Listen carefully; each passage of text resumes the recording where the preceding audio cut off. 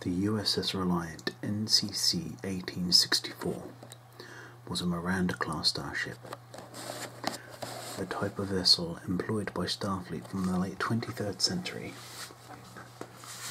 until the late 24th. There were several slight design variations within the Miranda class, but they were used primarily as science or supply vessels, although they were employed in combat against the Borg during the, and during the Dominion War. At 233 meters long,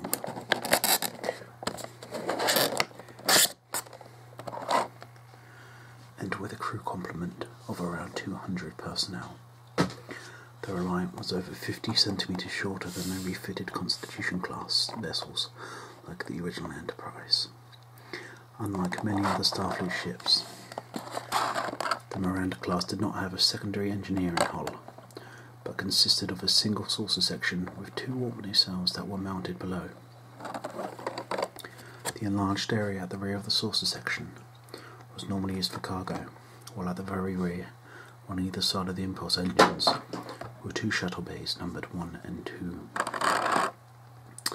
Some Miranda class vessels, including the Reliant, were equipped with a weapons roll bar that extended above the rear section of the saucer.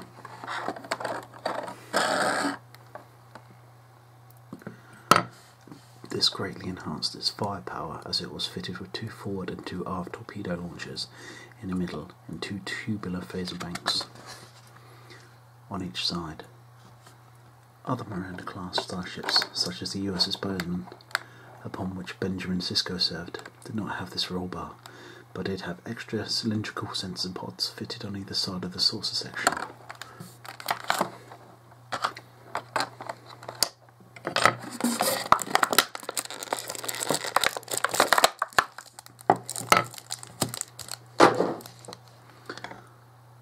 All Miranda class vessels had six Type 7 phaser emitters, three mounted on the top saucer and three below, while there are also two single phaser emitters at the rear, located just behind the impulse engines.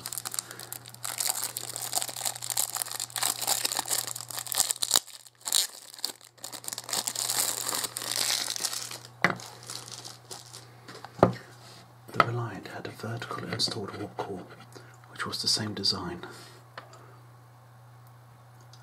as those fitted in the Constitution. It spanned several decks and was capable of propelling the ship to a top speed of warp 8.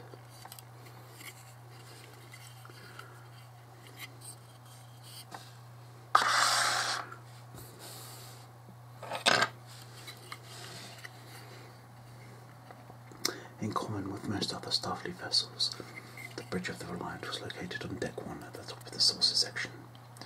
The layout was very similar to that of the Constitution class starships, with helm and navigation stations on the front and a captain's chair in the middle.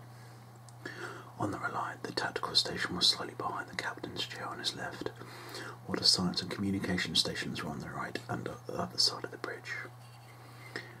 As a vessel used primarily for scientific research, the Reliant had sophisticated scanning equipment, including a dyno scanner, which was powerful enough to detect microbes or even a particle of preanimate matter on a planet's surface.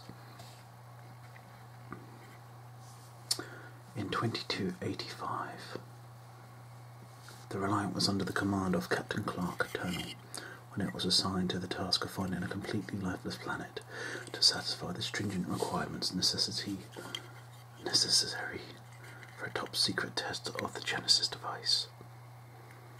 The crew of the Reliant, which included Commander Pavel Chekov and Commander Carr, who had both previously served aboard the Enterprise, eventually they discovered what they believed to be a suitable planet for testing the Genesis device and the Ceti, the Ceti Alpha system. Unfortunately, it turned out to be the planet where Captain Kirk had marooned the genetically enhanced Khan Noonien Singh and his followers 18 years earlier after they tried to take control of the Enterprise. The planet had subsequently almost become uninhabitable after the destruction of a nearby planet. Embittered that Kirk had never checked on his fate, Khan seized control of Reliant and lured Kirk and the Enterprise to turn him in so he could have his vengeance. When the unsuspected Enterprise arrived, Khan launched a surprise attack, very nearly destroying the Enterprise. It was only Kirk's intimate knowledge of Starfleet ships that saved them, as he used the Reliant's prefix code 16309 to take control of their systems and lower the ship's shields. The Enterprise was unable to target the Reliant weapons and warp drive, rendering them temporarily inoperative. The heavily damaged ships later re-engaged and fought a tense battle inside the Mutara Nebula, in which Khan was killed and the Reliant destroyed, although victory came at the cost of Spock's life.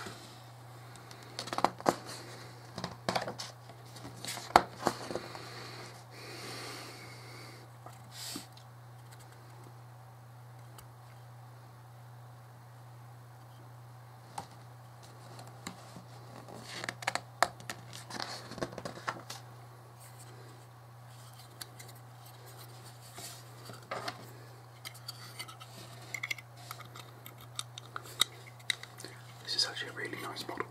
I like this one.